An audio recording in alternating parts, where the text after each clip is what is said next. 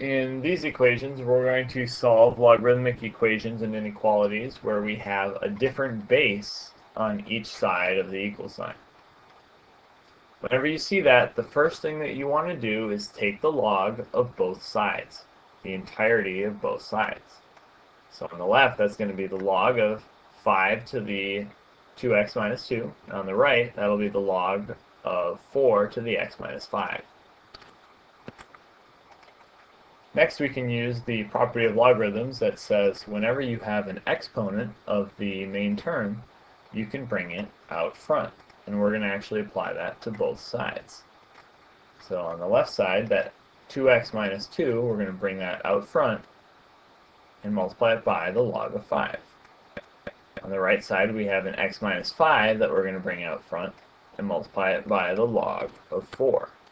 And what this does is we have log of 5 and log of 4, which are simply constants being multiplied by an algebraic function.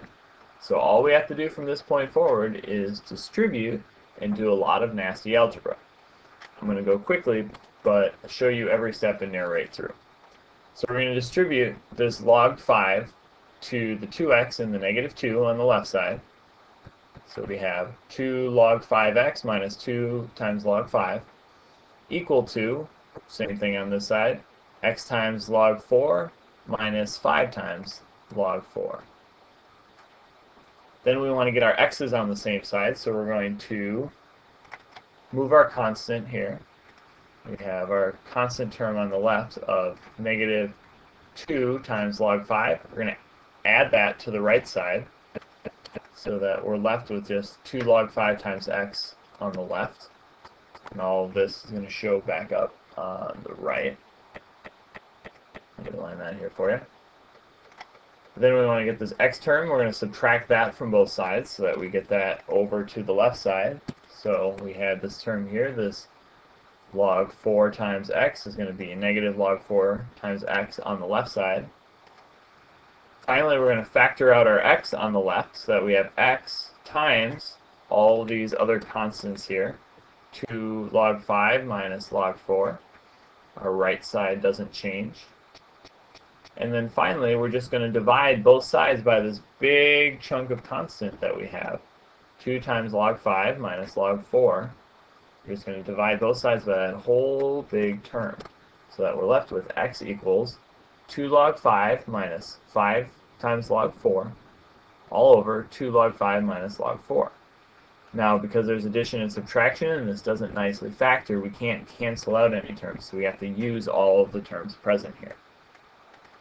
I want to quickly punch this in my calculator. I've got it started. 2 times log 5 minus 5 times log 4, and then parentheses around my whole numerator, divided by, put parentheses around my whole denominator, 2 times log 5, close that, minus log 4. Close that and close my denominator.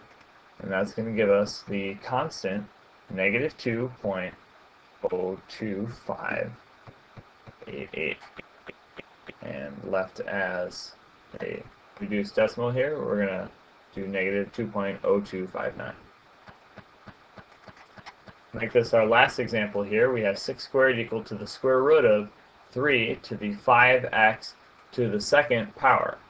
So very nasty many layers of exponential here. So we're going to go ahead and unwrap this a little bit. On the left, 6 squared, well that's just a constant, that's just the number 36. And on the right, we don't really have anything that changes immediately. But since we have the square root of this entire right side, we can go ahead and square both sides to get rid of that root. So if we square the left, we're going to be left with the constant 1296. Just punch 36 squared in your calculator.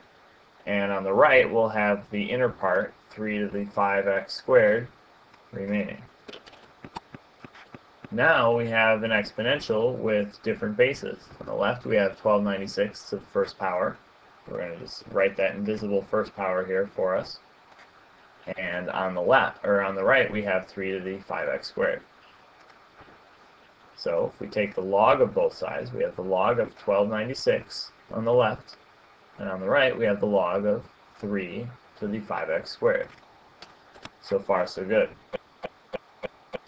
Now, we're going to use the property of logarithms that says we can take this exponent, 5x squared, and move it as a coefficient out front of the log of 3.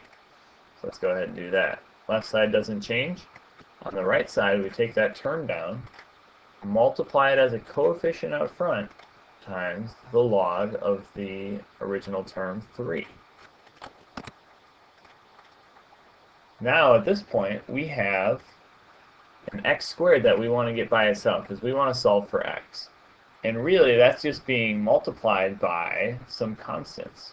So we have the constant 5, and we have the constant log 3. So let's go ahead and divide those out from both sides.